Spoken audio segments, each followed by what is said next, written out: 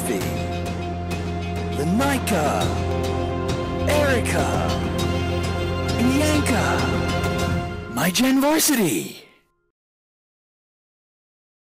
And I show